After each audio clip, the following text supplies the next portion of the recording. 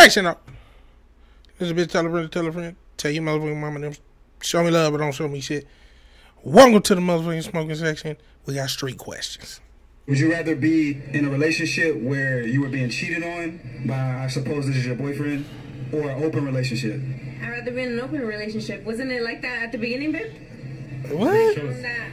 That's her answer. Why open relationship? He was hurt. At least that way the, the rules are clear, no? You do you, I do me. No one could get mad. That's what we decided on. So you started off as an open relationship? I never called it. I never called it. At least she letting you know what it is, though, my nigga. You What was the can't be cheat in the mad. Obviously, you're talking to someone. You're like you're talking to someone. You're building that relationship. How did you feel in the beginning? Well, yeah, I mean, I, Said it. She felt like an open relationship. you're obviously feeling one por- one person, right? I mean, a girl always has other options. Always. She got a nigga right now, and not the one she with. So you don't think he had other options? Yeah, probably. I'm not worried because he's sending the messages, I'm receiving them. That's why.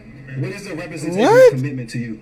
He asked me to be his girlfriend. I'm his girlfriend. I'm committed. I'm giving him my all. Before you asked her to be your girl, were you expecting her to behave that way?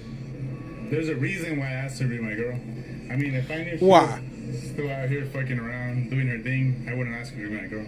Yeah, I kind of had a, a thought or whatever. Yeah, you you had her fucked up. You got doubt? Yeah. Do you start becoming loyal to someone you're talking to during the talking phase, or do you wait until it's official? Personally, I do. I tend to be. Would you rather be in a relationship where Listen, my nigga, she telling you she don't want to be with you. She fuck with you on that level. You, you could be part of the motherfucking roster, but she telling you that I I'd rather just fuck with everybody else. Go ahead, my nigga, run for it. My name is Hero. Listen, bitch, I'm from the motherfucking south side. If you ain't from my motherfucking side, listen, bitch, throw up your side, like and subscribe, boy.